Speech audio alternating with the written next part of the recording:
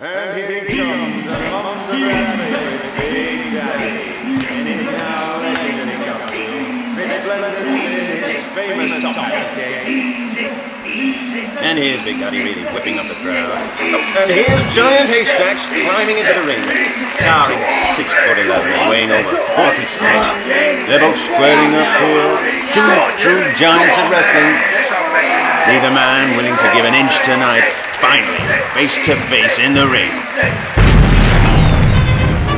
Welcome, Grapple fans, to the golden age of British wrestling. At its height on a Saturday afternoon, it attracted more than 10 million viewers, captivated by such heroic figures as Big Daddy, Giant Haystacks, Kendo Nagasaki, and Mick McManus. For over 33 years each Saturday afternoon, the nation would sit down in front of their TV screens and be thrilled to a drama of truly epic proportions. And the question burning on everyone's lips was it fixed? I met Frank Sinatra today. He said British wrestlers are the best entertainers in the world. Really? I'll tell you what, you grunt and I'll groan.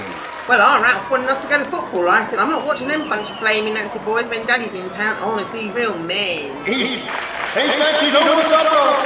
He's out of the ring.